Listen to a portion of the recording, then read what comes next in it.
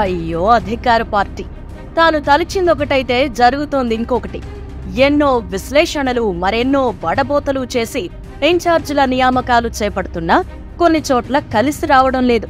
కలిసొచ్చే అంశం పక్కన పెట్టండి. వైసీపీకి కొత్త కష్టాలు మొదలవుతున్నాయి. సొంత పార్టీ నేతలే అసంతృప్తి వెళ్ళగక్కుతున్నారు. వామ్మో! ఆ వ్యక్త వద్దే వద్దు. ఆయనపై ఉన్న అవినీతి ఆరోపణలు పార్టీ కొంప ముంచుతాయి. పార్టీ సంగతి దేవుడెరుగు. తమకో ముప్పే అంటూ తమ ఆందోళనను వెలిబుచ్చుతున్నారు అటువంటి పరిస్థితులకు తాజా ఉదాహరణే గుంటూరు లోక్సభ.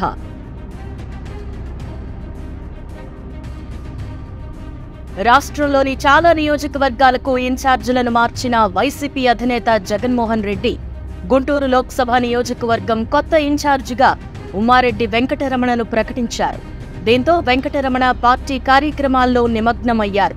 లోక్సభ పరిధిలోని అన్ని అసెంబ్లీ నియోజకవర్గ నేతలను కలుస్తూ మద్దతు కూడగట్టుకుంటున్నారు. రానున్న పార్లమెంట్ ఎన్నికల్లో తెలుగుదేశం పార్టీని ఢీకొట్టేందుకు బలం పెంచుకునేందుకు ఊరూరా తిరుగుతున్నారు. ఇంతలో ఏమైందో ఏమో వెంకటరమణను వెంటనే మార్చేశారు. గుంటూరు లోక్సభ నియోజకవర్గం ఇన్ఛార్జిగా కిలారి వెంకట రోసయ్యను తెరపైకి తెచ్చారు.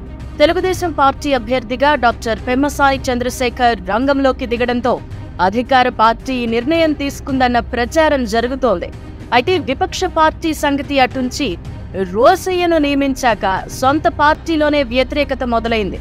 అందుకు కారణం పొన్నూరు ఎమ్మెల్యేగా వేల కోట్ల రూపాయల అవినీతికి పాల్పడ్డారు అని రోసయ్యపై ఆరోపణలు ఉండడమే.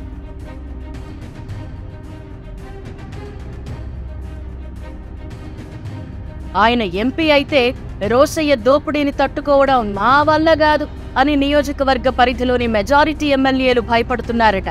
రోసయ్య కంటే రమణే బెస్ట్ అంటూ లోక్సభ పరిధిలోని వైసీపీ శిబిరంలో చర్చ జరుగుతోంది. అధినేతకి విషయం తెలిసినా మళ్ళీ ఇంకొకరిని మార్చాలా అని వైసీపీ అధిష్టానం అంతర్మథనానికి లోనవుతోందని గుంటూరు లోక్సభ పరిధిలో వార్తలు వెల్లువెత్తుతున్నాయి. దీనంతటికీ కారణం పొన్నూరు ఎమ్మెల్యేగా ఉండి రెండు వేల రెండు వందల కోట్ల ప్రజాధనాన్ని కిలారి రోసయ్య దోపిడీ చేశారని విపరీతంగా ప్రచారం జరుగుతుండడమే. అంతేకాదు వెంకటరమణను మార్చి రోసయ్యకు టికెట్ ఇవ్వడం వెనుక కూడా మైనింగ్ బాటాలే కారణమని పార్లమెంట్ పరిధిలో చర్చ జరుగుతోంది. మరోవైపు ఎమ్మెల్యే రోసయ్యపై తెలుగుదేశం సీనియర్ నేత ధూళిపాళ నరేంద్ర తీవ్రమైన స్థాయిలో ఆరోపణలు చేస్తున్నారు.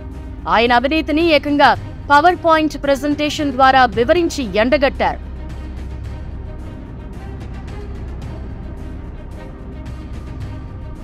ఒక్క ఛాన్స్ అంటూ రాజకీయాల్లోకి వచ్చిన రోసయ్య ఐదేళ్ళలోనే రెండు వేల ఐదు వందల నలభై కోట్ల దోపిడీకి పాల్పడ్డారు అని లెక్కలు వేశారు.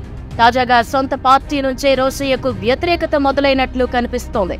రోసయ్య కంటే రమణే బెస్ట్ అని పలువురు వైసీపీ నేతలు అధిష్టానం దృష్టికి తీసుకువెళ్ళినట్టు వార్తలు గుప్పుమంటున్నాయి. అయితే వైసీపీ నుంచి ఎవరు పోటీ చేసినా రోసయ్యను మార్చి కొత్త వారిని నిలబెట్టిన గుంటూరు లోక్సభ నియోజకవర్గంలో డాక్టర్ పెమ్మసాని చంద్రశేఖర్ గెలుపు ఖాయమన్న సంకేతాలు కనిపిస్తున్నాయి.